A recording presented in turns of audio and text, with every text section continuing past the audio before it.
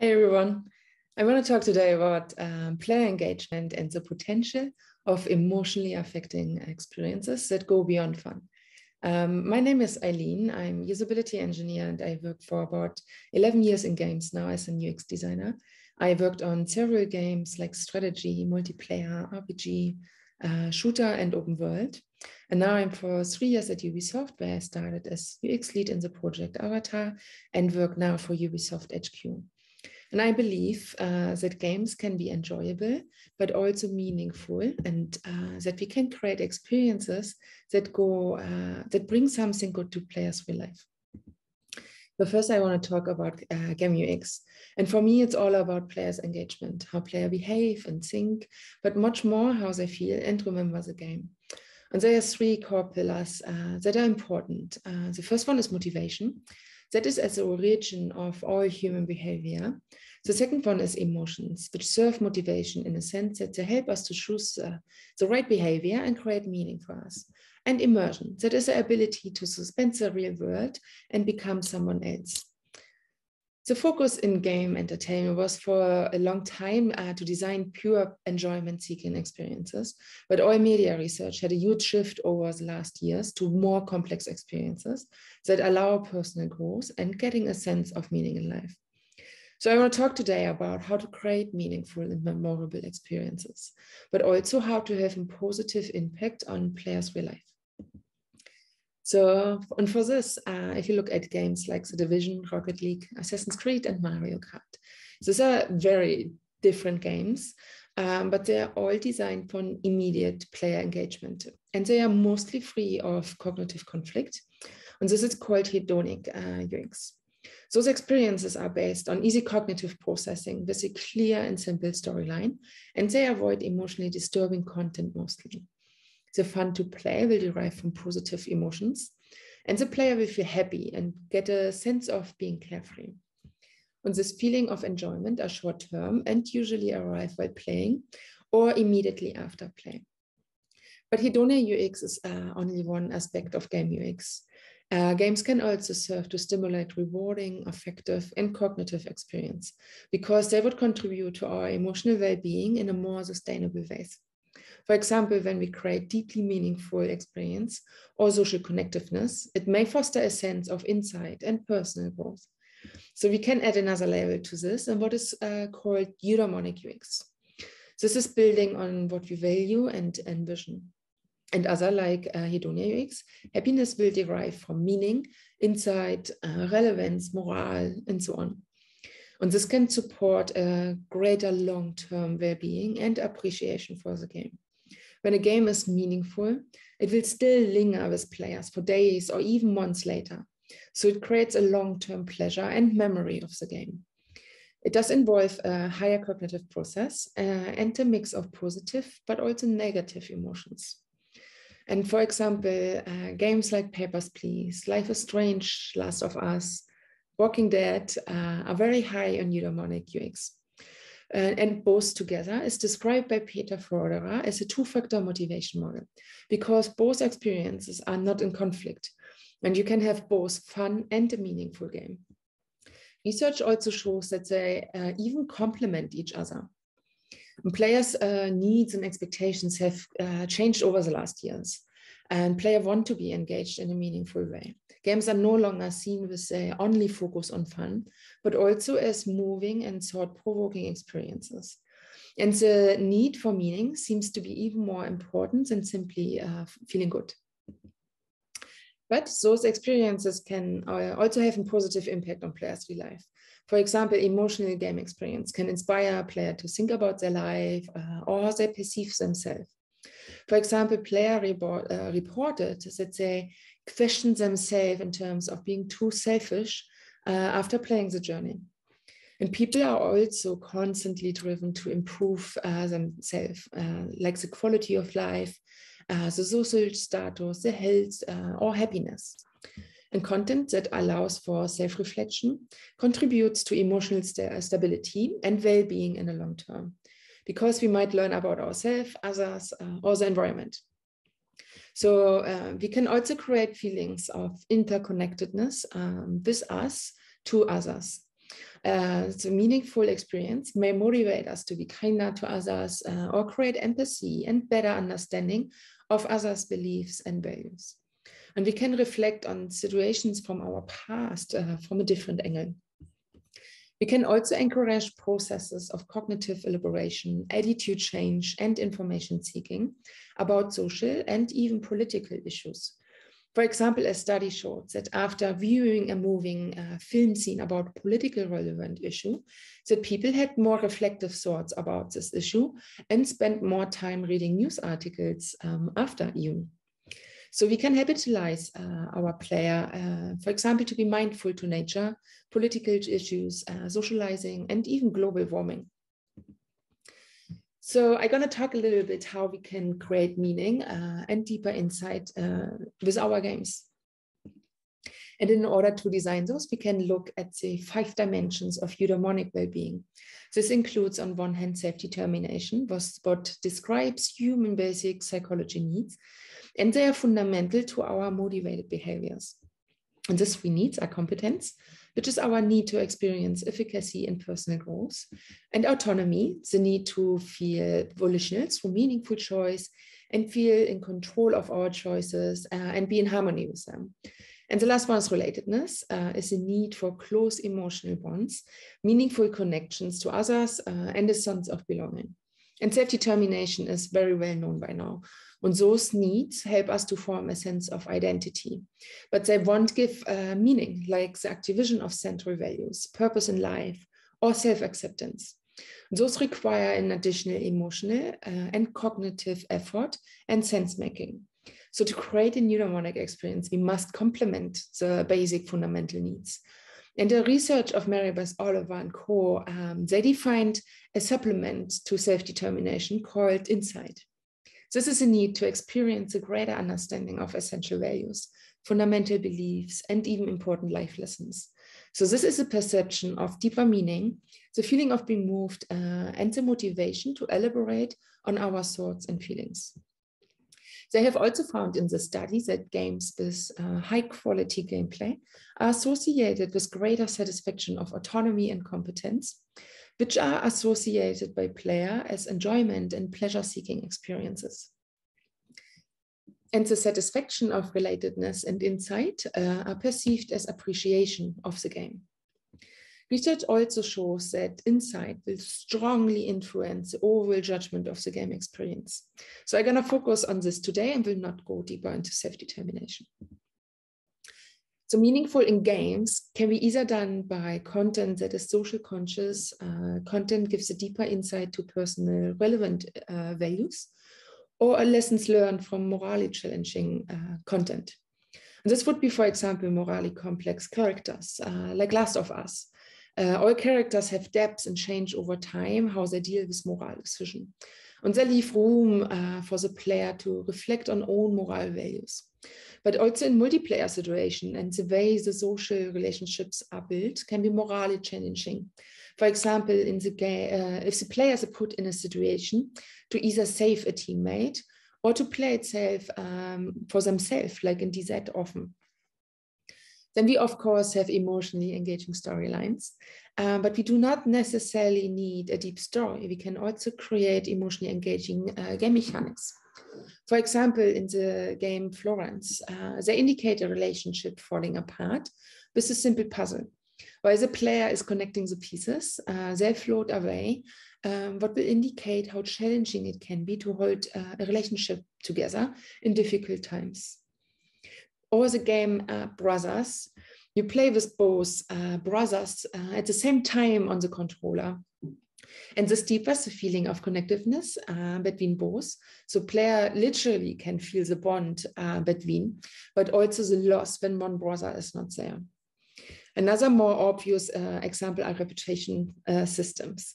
Like in Red Dead Redemption, you have equality on harvestables, uh, depending on how considerate the player was treating animals. This can habitualize the player in real life uh, too, to understand that treatment of nature has an impact. But games can also have a deeper meaning and life lessons, uh, like uh, Hellblade. The game taught about depression and anxiety. And of course, we can also create moral choices, uh, which, which I will talk a little bit more about later. Um, but to summarize first, eudaimonic is when you reach a feeling of purpose in what you're doing, and your choice leads to something, lets you think of yourself, uh, others, or the world. And I'm going to go a little bit more concrete uh, how to create meaning. And there are actually two ingredients I think are necessary. The first one is uh, to create a cognitive uh, effort, mm, cognitive dissonance in the player. And I know we are told uh, for years to reduce every cognitive effort from the player. And this is true in terms of UI, but to create a meaningful game, we do need to build something the player has to think about or what creates suspense to think about and to be curious about. And cognitive dissonance refers to uh, situations uh, involving cognitive uh, attitudes, ideas, beliefs, uh, or behaviors.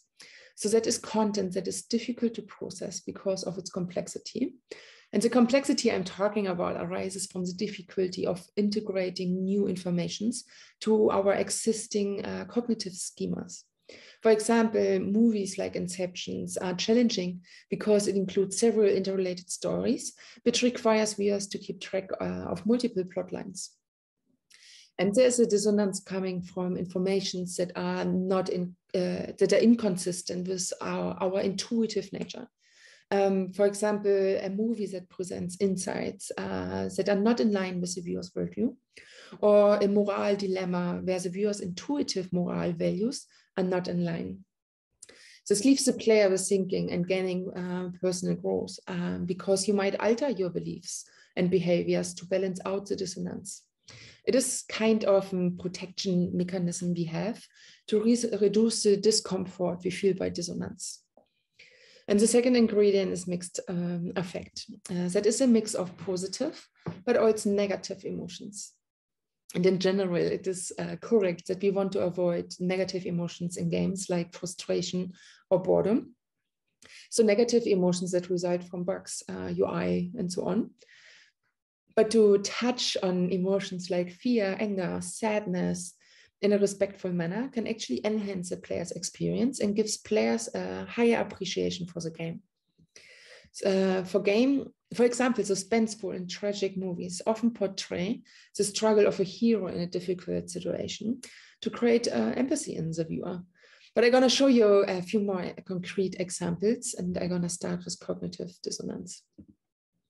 So research shows that player had significantly higher levels of appreciation in morally challenging games than in non-morally challenging games. So if you look, for example, at a uh, scenario in Assassin's Creed Odyssey, and there's nothing wrong with this, I want to point out, I just want to use it as an example. So there is a point, um, the player has two options. They can either forgive the character's sister, uh, and the result will that she changes her mind and the family is reunited. Or the player can sacrifice her with the result that the mother and the son are relieved because now the world is saved and he's smiling. And you might think uh, the decision to sacrifice her in the eudaimonic experience uh, could, could be a eudaimonic experience as you could reflect on the decision uh, and that would be true. But in this example, the player will have no cognitive conflict actually, because the mother tells the player immediately after that this was the right decision. Uh, you are a hero, you saved the world. Um, and with this, the moral decision is resolved by focusing on the good things directly after. This will balance out the cognitive process from the player immediately. So to summarize, when a story outcome align with player's intuitive moral judgment, so the character is rewarded. Um, so higher levels of um, processing are not required, but may lead to immediate enjoyment because any suspense and cognitive dissonance are re revealed at the happy end. But stories with unhappy endings, for example, um, the, for example, the mother would uh, judge the decision. The player would need a cognitive emotion regulation uh, by themselves to balance it out. And this can make it meaningful and give a stronger memorization um, because player might reflect and feel rewarded in the long term. What then might lead to an emotional stability and sustainable well-being.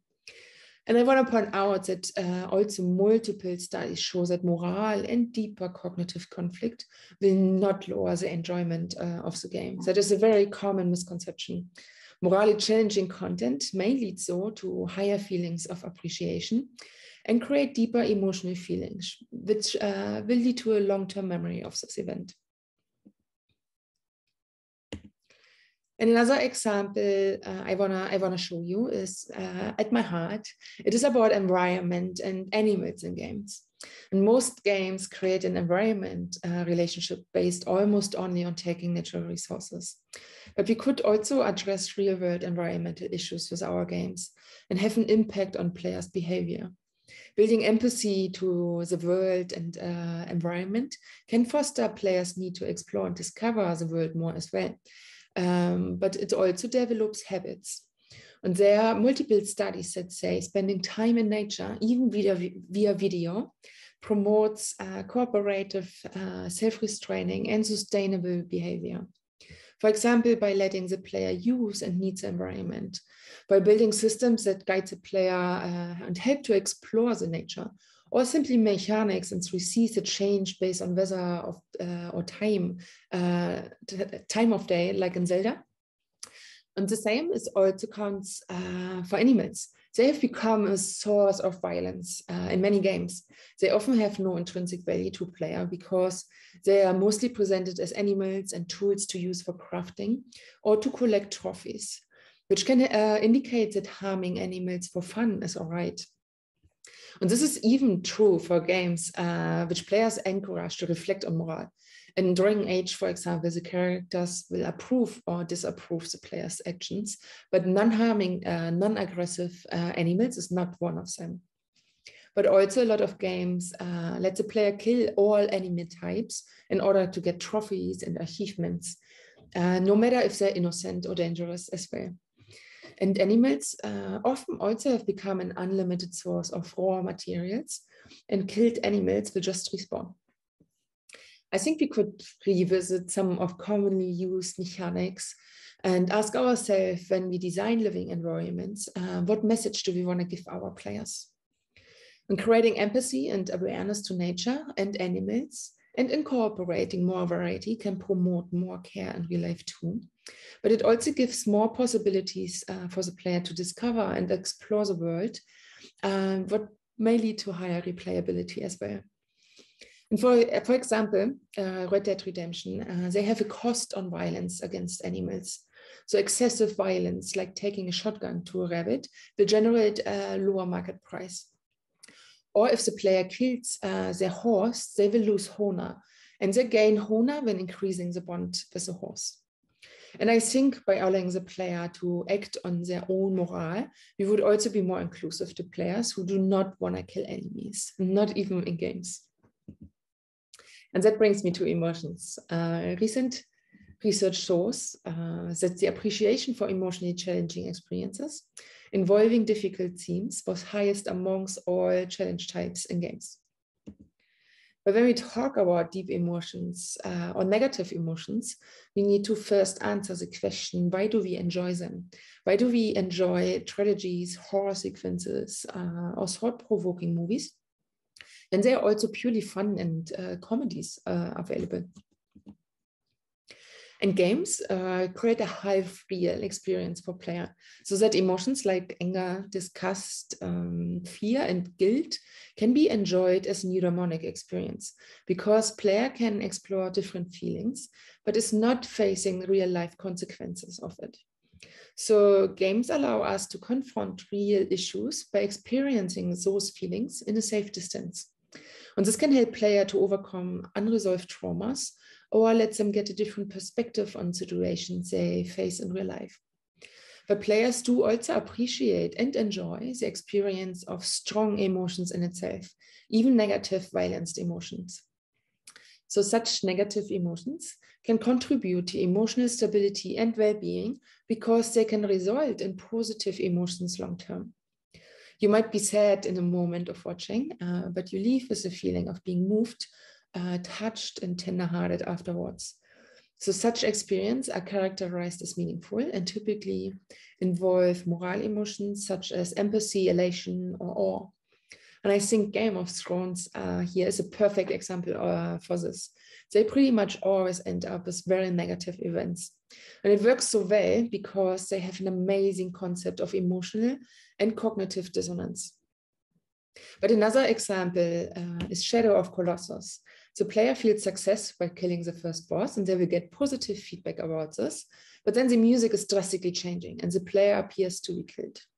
And the co uh, conflicting feedback in this case leaves the player feeling bad, uh, having killed the Colossus, or rethinking this, which is uh, starting a process, a process of emotion regulation.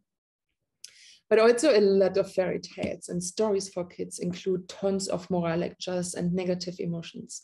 So I think we do not uh, need to be afraid of using them in games either. Uh, just think about Hansel and Gretel or Disney movies like Bambi. Children learn uh, lessons from this and enjoy this kind of stories and remember for years on those stories. And if you want our player to remember our games the same way, we need to make them think and feel something. And the feeling uh, of sadness, I want to talk a little bit more about, um, but it's not by far not the only emotion we should think about. Um, but this is one of the most prominent emotions, and the enjoyment and appreciation for these feelings scores pretty high. So sadness felt um, in entertainment, or it's also called uh, empathic sadness. Uh, you might uh, be moved uh, to tears or feel overwhelmed by emotions for in-game characters. For instance, um, Mary, uh, many player reported uh, the loss in Last of Us 1 was so heartbreaking because they got to know the little family before a little bit. And character attachment is, uh, I think, a crucial factor for an eudaimonic experience because when players care about uh, characters in game, they build up empathy or sympathy, and they uh, will also have strong feelings for the journey of the character. So when something bad happens uh, to the character, player will feel sad, or they feel they feel happy and relieved if something good happens. So, but the experience of an in-game loss can inspire players to think about themselves uh, and even teach uh, life lessons. But also the risk of a loss can make players evaluate every decision extremely cautious in the game. And players uh, admire to feel this and empathize with the game character to be emotionally engaged with them. Some players explicitly reported that they linked the experience of simply um, being overwhelmed by strong emotions. But when players uh, have strong emotions, they also like to share those uh, uh, with others outside of the game. So to summarize, um, eudaimonic experience arises from the combination of cognitive and affective challenges. And when we combine those with hedonia and fulfilling intrinsic needs, we can create memorable experiences long term. And we want when we want our players to have a strong emotion uh, and memory in our uh, in the game experience, we have to make them think and feel something. And especially games uh, have such a huge audience. I think we should include more meaning and have a positive impact on players' real life. So that's it from me today. Uh, thank you very much for, for listening. And please let me know if you have any questions or if you want to share your thoughts.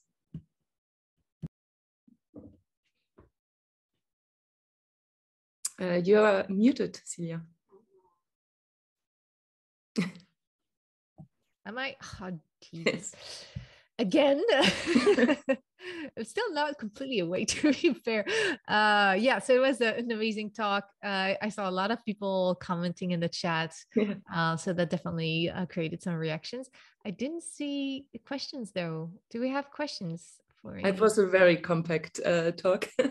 So yeah, but process. very rich, very interesting. Yes. All right. Thank you very much for all the comments. Yeah. Yeah, no, people were uh, pretty uh, engaged. Uh, so I have a question from Irem. Uh, mm-hmm. How much is a UX researcher involved in this kind of design decision that relate to these hedonic and eudaimonic, I can't pronounce this, experiences during game development?